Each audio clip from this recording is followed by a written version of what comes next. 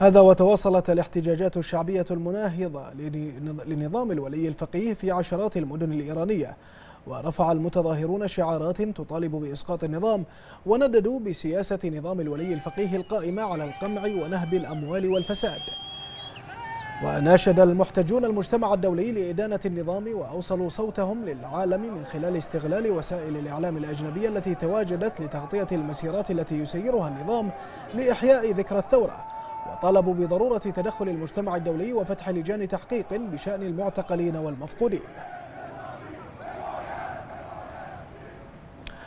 وأعلنت وسائل إعلام إيرانية مقتل كاوس سيد إمامي أستاذ علم الاجتماع بجامعة طهران بعد نقله إلى السجن. وبهذا ترتفع حصيلة قتل السجون الإيرانية إلى أكثر من عشرين قتيلا.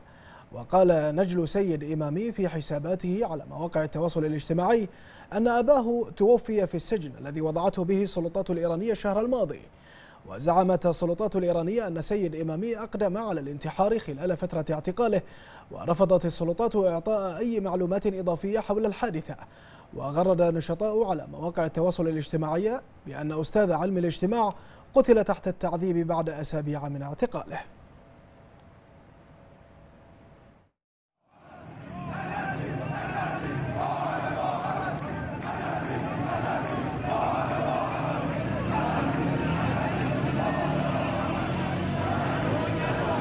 کلا کار افتاده. اتوبان کرج به تهران که بسته.